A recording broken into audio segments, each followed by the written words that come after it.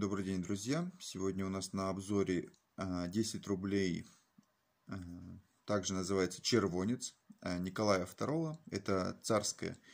На сегодняшний день это больше инвестиционная монета, которая примерно по стоимости близко к золоту, то есть где-то в районе плюс 20% к бирже из-за больш... своего большого количества выпуска. То есть данной монеты выпущено 27 миллионов штук на всю страну.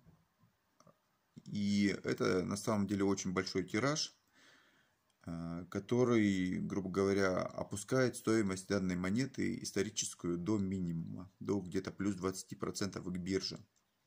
Но э, все зависит от состояния. Если у данного червонца живые волосы, которые видны, живое ухо, как, например, здесь на данной монете, э, живые зубчики по краю, либо там, живые буквы. Также на другой стороне, на что стоит обращать внимание, это сам герб и гербы губернии. Вот если по крыльям смотреть.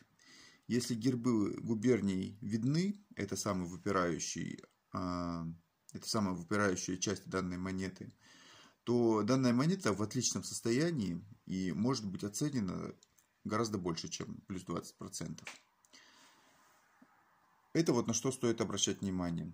Сегодня 30 октября, ну, по стоимости данная монета примерно в районе 45-47 тысяч.